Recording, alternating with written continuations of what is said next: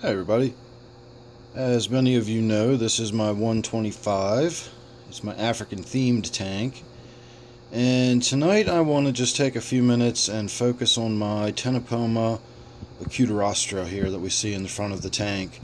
These go by many common names. Uh, I've heard them called leopard gouramis, uh, climbing perch. They are most frequently sold, and I bought mine under the name uh, African spotted leaf fish, and they sell them at one of the big chain pet stores here in America uh, for about eight dollars or something. They're not very expensive. And when I bought him, I'm not kidding. The fish was not as long as this guy is thick at this point. Uh, the fish was probably about an inch long when I got him. And this guy now is about an inch and a half thick. He's a really, really big fish uh, at least by my standards. Of course, that snakeskin gourami right there is larger. Um, but I was not expecting this at all when I bought it. I had him in a 40 gallon tank and I thought that would be fine. And I suppose if you kept it by itself and had like a species type tank and had maybe one or two other small fish in there or some bottom dwellers or something, it could be okay in a 40 gallon tank.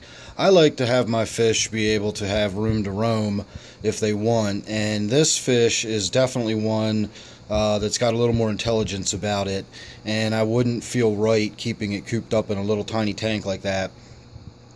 Uh, I've got a Molly in a 10 gallon tank upstairs, and while it is in there by itself, I don't have any issues with a Molly being in a 10 gallon tank. It's not cooped up. They just kind of sit there and don't really do their thing.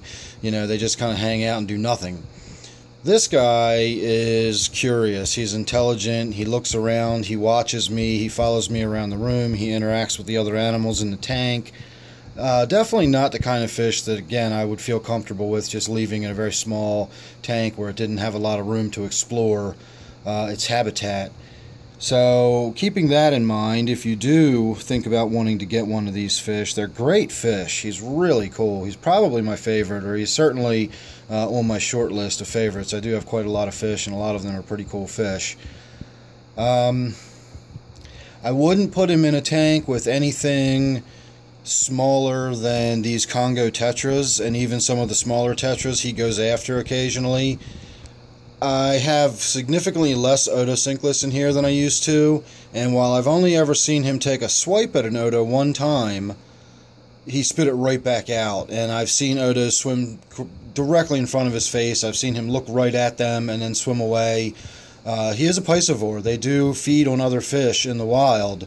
So if he's looking right at an Oto Otocinclus and swimming away, I'm not too concerned about him eating them uh, on any kind of regularity. If you had something like a smaller, like a platy or something in this tank that wasn't fully grown yet, uh, it would be a snack for this fish.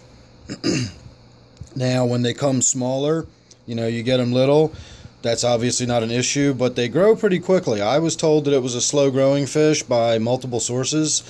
And within a year, I was already seriously considering what size tank I was going to upgrade from the 40. Now, I had a school of five Congo tetras in there, and I had several other fish. It was a fairly crowded 40 gallon tank, but it was pretty clear that this guy was getting way too big way too quickly, uh, and that's why we now have everybody over here in the 125, and it works out really well.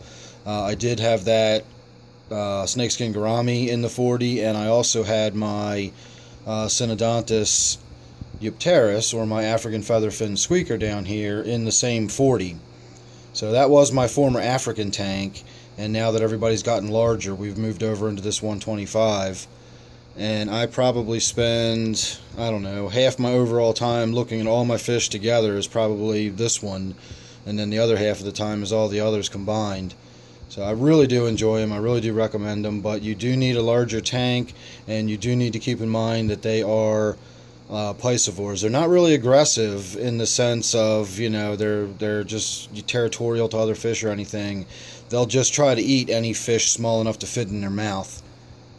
So keeping that in mind, you know, if you wanted to get one or whatever, then I would say go for it. They're really awesome fish. I'd say maybe a 55 gallon would be about the smallest I would consider uh, for somebody that size.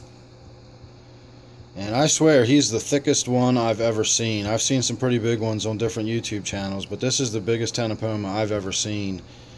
He eats, at this point, predominantly uh, freeze-dried krill is his staple food. I give him that uh, probably twice a day. He doesn't really eat anything else. If I put flakes in there, the other fish eat it, but he ignores it. He only goes after larger stuff.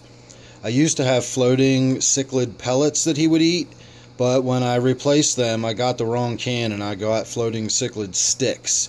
And he doesn't, he just looks at the sticks like he doesn't know what they are. He doesn't eat them. Um, if I throw crickets or any kind of insect in that floats on the surface, he tears them up like nobody's business. And again, you know, if you wanted to feed live fish, if you wanted to keep it in a species tank and feed it uh, feeder fish or something like that, uh, that would certainly be uh, very good for him. It would certainly make him happy. Uh, that's what he does in the wild. They are ambush predators. They lay low and they come up from below and strike stuff above them or on the surface. So Again, I wouldn't put it in a tank with smaller surface dwelling fish like guppies or even like something like a killifish or something that wasn't full grown yet uh, would probably be a target for it. So that's about all I can think of. Just wanted to share my experience with that. That's a little uh, look at my experience with them. Again, I don't really do species profiles so much. I just kind of talk a little bit about uh, my experience keeping them, what you know, what to expect if you're going to have them, how they interact with other fish, that sort of thing. So thanks for watching. Make sure you subscribe. You never really know what you're going to get. I do a lot of spur of the moment stuff, and uh, I like to think all of it's worth looking at. So if you're subscribed, you won't miss any of it. So thanks for watching this one. I hope you enjoyed it. I'll see you real soon on the next one.